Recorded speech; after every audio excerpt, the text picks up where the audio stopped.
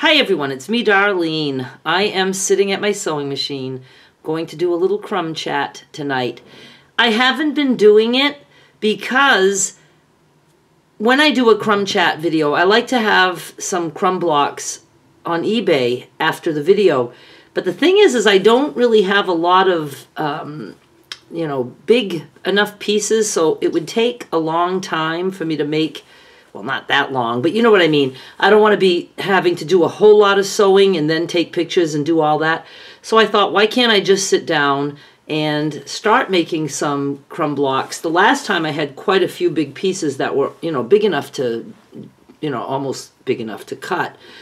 You know, I do have some, you know, things like this size or whatever, but uh, I just thought I would sit down and uh, start making some blocks because I like to put them on eBay. See, I have things started like strip sets that can go into crumb blocks and, you know, different things. But we're just going to, ooh, ooh, look at all these nice little strips. And that just reminds me of the fact that I saved these. These are selvages. I think they're all selvages, maybe some folds. And uh, I want to put those in some of the uh, the crumbs, the crumb blocks. So let me just move my box and I can fill you in on a few things, what I've been doing, what's going on. See, this is a big enough one, but this is Christmassy, winter, I should say. There's, uh, I don't know, some Christmas stuff there, and, uh, but anyway, I'm not going to, you know, get big on that. Maybe I can do some other Christmas things with the crumbs that I will be creating all year because I'm going to be doing uh, uh, Christmas projects and I have a lot of Christmas fabric. So let's just start. And, ooh, look, look at this nice strip from, I don't know, I must have done a quilt project or something. And this is nice to use. Now here is something that I had already put on a strip, but I didn't cut them. So I think I'll start by pressing this stuff open See, these a little beginning. Uh, let me press this and trim that, and then we'll use these, and I'll work off that. This is what I got out of that strip that I had. Now, when I have big things like this, I put those together, but I'll probably be cutting that smaller because I really like my crumb blocks to have small pieces, or at least some. I got that out of it. Now these are pretty good to build on. I could easily, in no time, build these up to like four or five inch squares. But I still don't want to set up for a slideshow tonight. I just want this to be quick and easy because I'm actually trying to take a day off today. I've been out all day with girlfriends. My friend Donna's house. We had a girls' day. It was so nice and fun to just hang out with the girls and I thought I'll just take the rest of the day off. But Joe just went to the store, and I thought, ooh, I'm gonna sneak in a video while he's gone. So that's what we're doing. And then I told him we can just uh, hang and watch TV for the rest of the night. I don't know if I had that one. It was over there. I don't know if I want to include these blue and red. I think I might like to save those for something else, uh, for uh, other crumb blocks. I don't know. I'm just going to put them aside for now. But let's just get busy on these. So yes, uh, Girls' Day, and it was really nice. And thank you, Donna, because I know she's watching. I'm just trying to figure out what I want to do here. These have, you know, quite a few of the prints that um, match, so that's good. It looks cohesive. They all have a piece of this fabric like that. I wonder if the lighting is right. Hang on. I don't know if this is better or worse, but we're stuck with this now. So they all have that piece because they were all sewn onto that strip. And I do that often. I'll take a strip and just lay down pieces and and that's how we, you know, that's how we do it. Oh yeah, okay. So if you don't know anything about crumb quilting, I have an entire series called The Crumb Quilt Adventure that I did, I don't know, several years back, and I will link to that in the description of this video. Now I just need some other scraps, and this is, uh, you know, I don't know, it's big pieces, so I won't be using, oh, I like that, and it should be enough. I'm just thinking I could just cut these apart. Will that be enough? of This black piece right here? If not, it certainly would be there. I think I'm going to do this right here. And this is a selvage, so I could do top stitching. Or I'm going to, let's see, I'm just going to, I'm going to do not top stitching. I'm going to do right sides together. Let's send this baby through. No worries about seam allowances or being straight. No intersections to worry about. It's just a really fun way to relax and sew. Okay, let's cut a piece of this. Now, for the hell of it, I'm just going to put the, the selvage side down. You can sew on a selvage and turn it over and press. But look, I don't, I want it more wonky. I'd like it maybe like this. So I'm going to put it this way, and I'll sew with it at an angle like that. I don't know if you can see. Where's my, I need a new tag. This one's getting very thick. Now what I'm going to do is I'm going to trim this stuff off. Oh my God, Rocket, you scared me. You must want to go out. Hang on. We're back.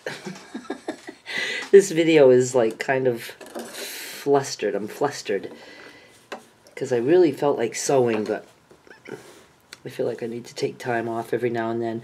So this is going to be pretty cool because these pieces, let's see, how many pieces were there? One, two, three, four, five, six but some of these can be turned into more. Um, if I put a lot of that flower power kind of print, that'll make them go together and we'll be good. All right, so let's do another flower power. Let me press these. And then when we press, we trim. Uh, let's make an angle here. Oh yeah, I was going to tell you guys that what I hear the most in comments when I do crumb piecing is the people who say, mine don't ever come out like yours, and then they figure out it's because they don't do enough angles. They basically just like go around and around um, with, you know, squares or rectangles or strips, and they don't want to cut something that they've just done and make an angle. But angles are cool. Like, like right here, I could cut an angle or I could just take a piece of fabric and sew it there. I like to do that because, you know, it's, it's why take the extra step? You sew first, trim after. So let's do that with this. Let's see, how much of a piece do I need? Um, let's go right here. Now, I'm going to make an angle here. So I'm just going to lay this somewhere here. Uh, let's do let's do that for the hell of it. I have no clue how it's going to look. So see how I put that on there? Crooked. Now I'm going to trim this off. Let me press it open. Now I'll trim to follow that line. Let's follow this line. And see now we, we have an angle here, which is to me more interesting than something straight all the time. I need a new tag. That one is way too thick. Look at my trash. I took a scrap and I just doubled it. I like it to be doubled up a little bit. Now this, you know, I don't need all of this, so let's take a piece of this. Oh, and let's use the both colors.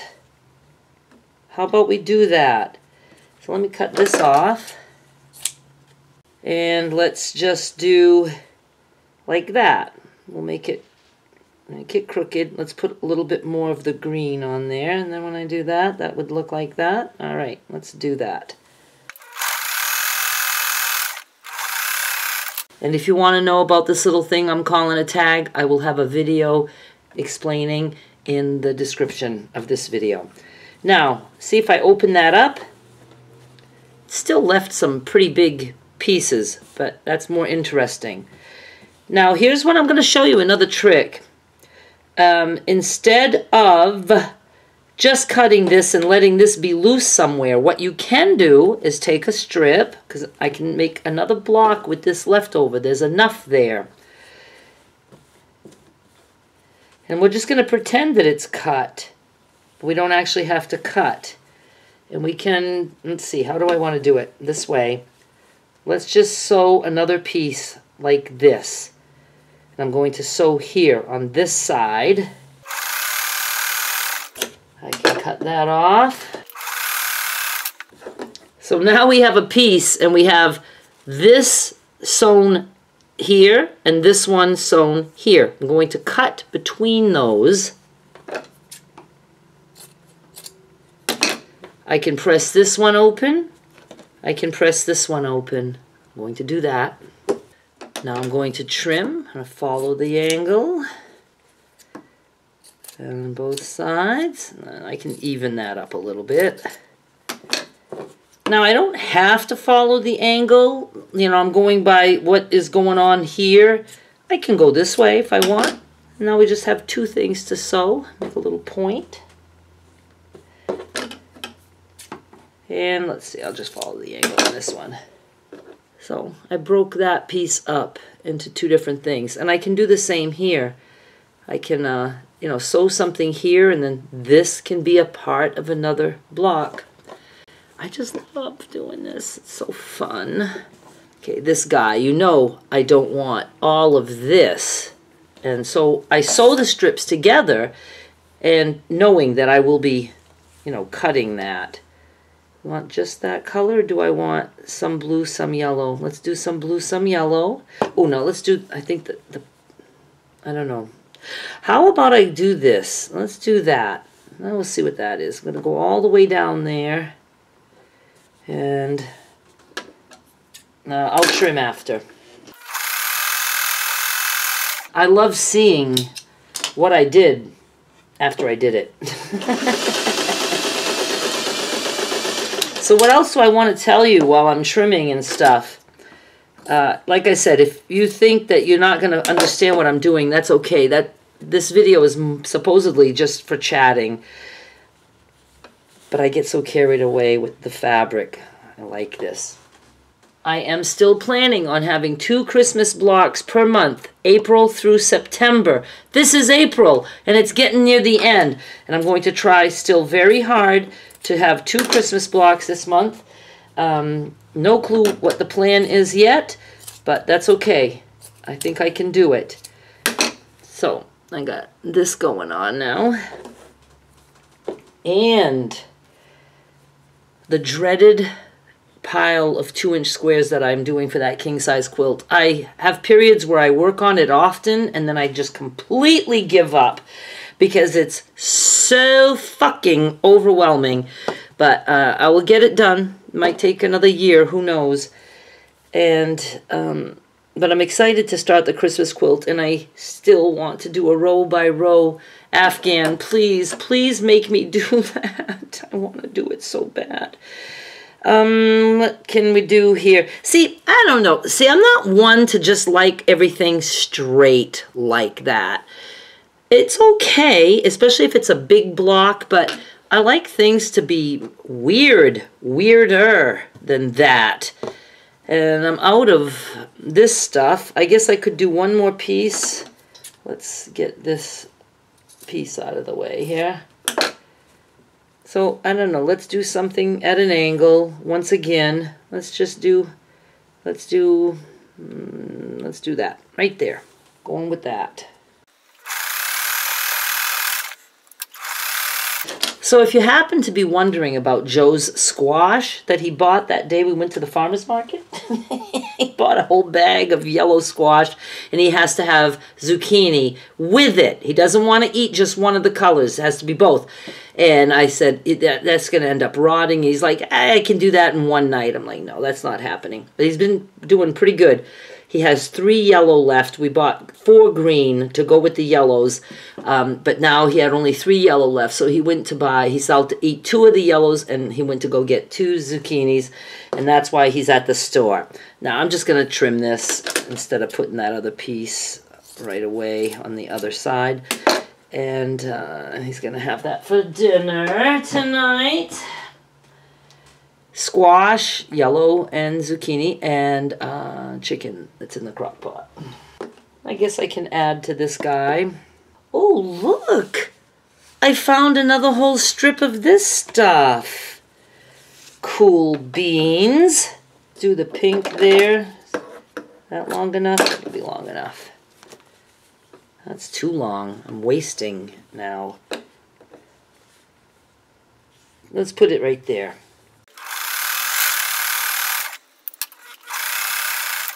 Now I can pull other pieces that are already put together.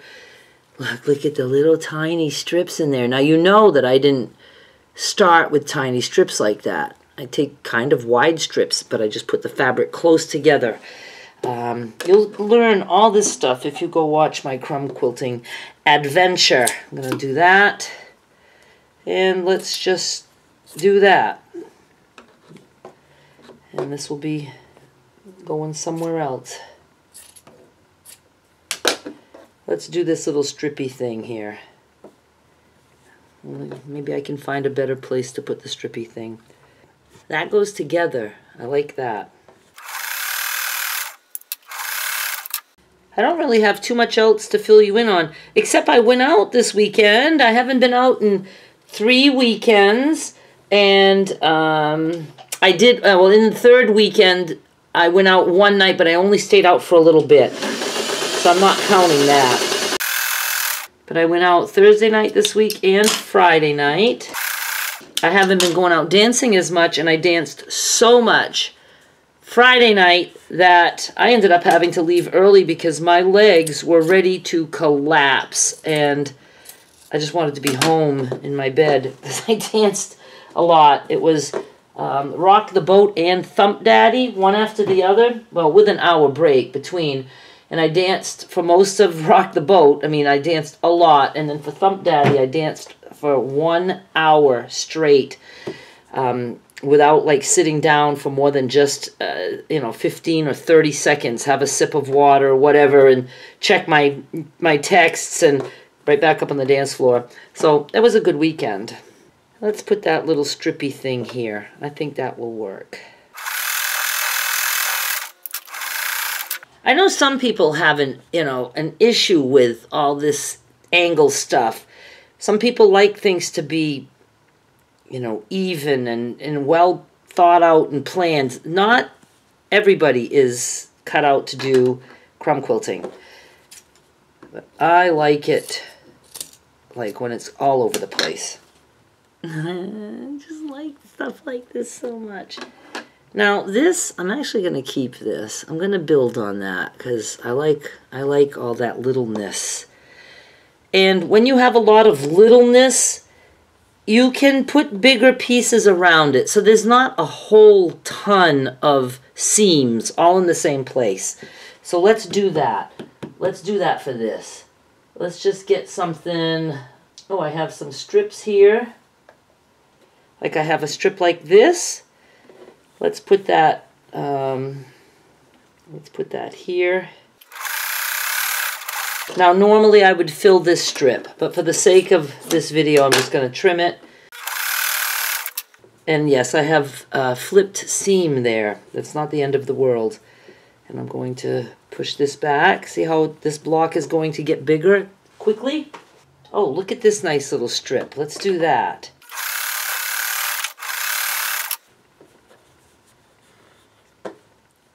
See, it's getting bigger. This is what we started with, this little piece right here. Ooh, I have a nice strip like this. I'm sure Joe's going to be home soon and he'll be doing cooking sounds. So I'll be signing off. I just wanted to chat with you guys for a little bit and just felt like having a video to edit. I still haven't done anything to enclose this piece on this side and that side. I'm going to put this little strippy thing here. It fits and we're doing it. Because I do like it when there's a lot of stuff sometimes meeting up. And then this can be trimmed like this. That doesn't really need to be trimmed much at all. Let's just close up this part right here.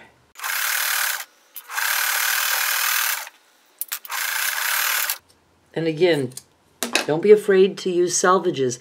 Even if it's selvages with writing, even if it's selvages with the fringe. Some people think it's a crime that sometimes I'll put the selvage down and I'll sew on the selvage edge. And when we flip it, we lose some of the writing. I don't care. Don't let um, anybody tell you you shouldn't do something. So we started out with some pieces that were on a, on a strip and um, I cut those and now we have this we have this. And some of those pieces got cut and added you know they would like became beginning parts of a new block that that this. This might have just been a leftover we didn't actually build on this one again but we can so this is all, you know, just from what I had to start with and I've added to. So I'm going to have this little pile put aside and I will finish these and I will make, I'm going to try to make six blocks. I could probably make more. And, you know, the next time I do a crumb chat, I'll work on something else. These will be done. Uh, or I might work on them again in another crumb chat, whatever. But at some point you will see these, if you recognize them. Um, on eBay, but not tonight. but you can always go check my eBay anyway. I've got some cool stuff uh, up for grabs. I don't have an auction right now tonight, but always go check my eBay. The link to my eBay is in the description of this video, or you can always visit me at my blog, darlenemichaud.com, and I have links there showing you all my stuff. All right? Thank you so much for watching. I'll be back with more soon. Bye.